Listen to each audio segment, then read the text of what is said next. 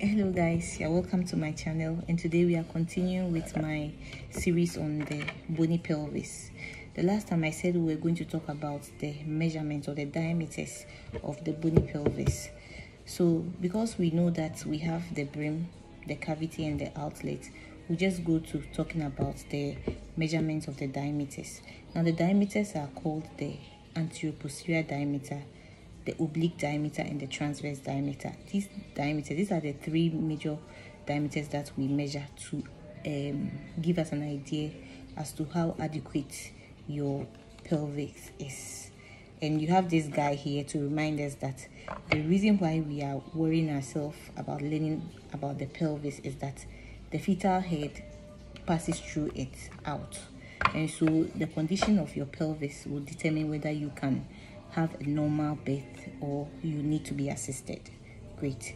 So moving on to the diameters of the brim or the inlet. We'll talk about the first diameter that is anterior posterior. I told you that this is the anterior part of the pelvis and the sacral area is the posterior part. So when we say anterior posterior it means we are measuring from front to back or back to front so the anterior posterior diameter for the brim or the inlet is measured from the sacral promontory to the upper border of the symphysis pubis. Sacral promontory, upper border of the symphysis pubis. And it is normally 11 centimeters. So anything below 11 centimeters means that your pelvis might not be adequate. Now the second measurement or second diameter is the oblique diameter. Oblique means slanted. So from one sacroiliac joint to the opposite iliopectineal eminence that is your oblique diameter. And for the brim it is always uh, normally 12 so anything below 12 is a red flag. Now the next thing is your transverse diameter. So it's between two widest points and it is often 13 centimeters. So for the diameters of the brim you have ap or anterior posterior as 11 the transverse diameter as 12 and then the the oblique diameter as 12 and then the transverse diameter as 13 so 11 12 13 good. Now move to the cavity. So to measure the anterior posterior diameter of the cavity we are going to measure between the second and third sacral um, bone up to the midpoint of the symphysis pubis. So the sec a junction between the second and third bone, sacral bone, to the midpoint of your symphysis pubis is where you measure the cavity. Now we assume that the symphysis pubis is round. And because it is round, it means that if we get an AP diameter of 12, the diameters of each uh, other diameters will be the same because when you look at a circle the diameters are equal in all direction. So if ap is 12 then it means that oblique 2 will be 12 and then transverse will also be 12 now the next diameter is the diameters of the outlet the pelvic outlet. So for the ap diameter we measure it from the lower border of the symphysis pubis to the sacrococcygeal joint. The the lower border of the symphysis pubis to the sacrococcygeal joint. That will give you an AP diameter.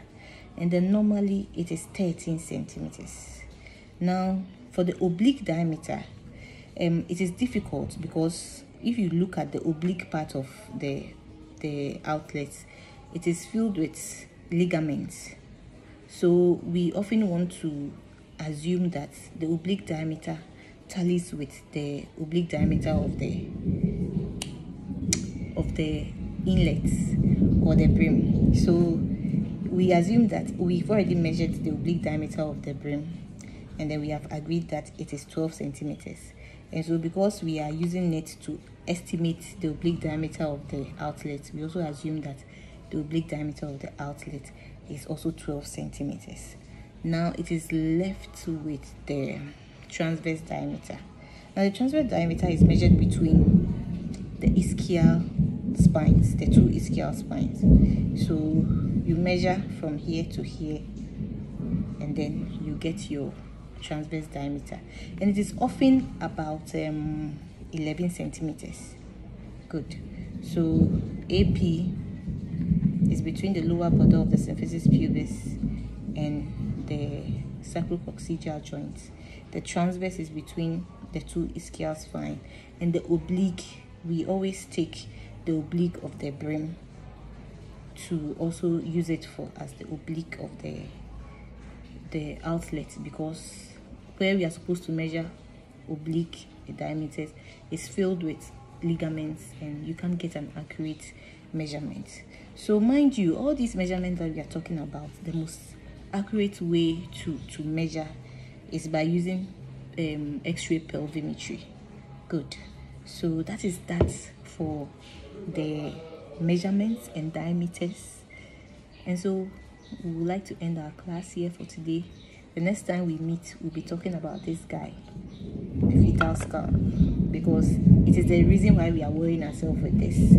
So we'll continue our conversation the fetal skull please if you have not subscribed consider subscribing liking and then sharing with your friends. Bye. Have a nice day